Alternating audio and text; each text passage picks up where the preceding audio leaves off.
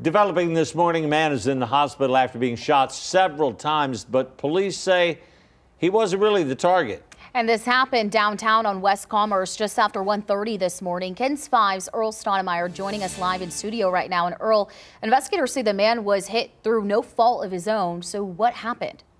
Megan police say the man was shot in the leg and stomach by another guy who fired his gun aiming at a woman. Police say the man and woman were fighting under a bridge on West Commerce in North Medina downtown. And at some point, the officers tell us the man pulled out a gun to shoot her.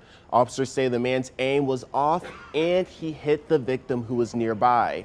The man and woman ran away from the area, but police were able to catch up to them and arrest the suspected shooter. The victim was taken to the hospital and is expected to recover. Detectives are still investigating this case, so if you know anything, please give police a call. But for now, live in studio, Earl Stoudemire, KENS 5.